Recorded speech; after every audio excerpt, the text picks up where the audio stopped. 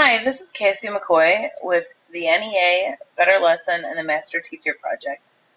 This is No Red Ink, which I use in today's lesson for some grammar instruction, and I ended up loving it, so it's something I will use more often.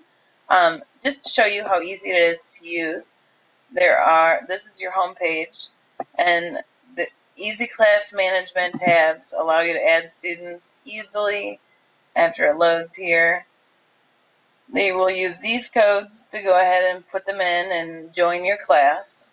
You can create assignments on any of the areas that they have, um, and they are growing all the time. They recently got a grant through Google to increase. When you create an assignment, you can choose um, whatever subject area you want. So I want to work on capitalization. I can leave the subtopics the same, or I can take out, add, tweak, whatever.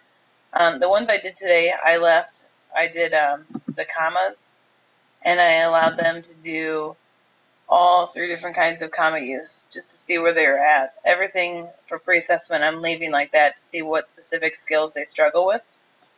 Um, after I set this all up, I can schedule times for it to start.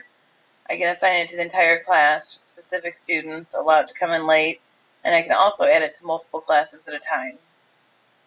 The other cool feature are quizzes. Um, this allows you to quiz students and it only gives them one attempt to get it correct. And then afterwards they get they have to go back and correct their work. So you know that they will complete their work to mastery. Eventually, only you get to record how much is done.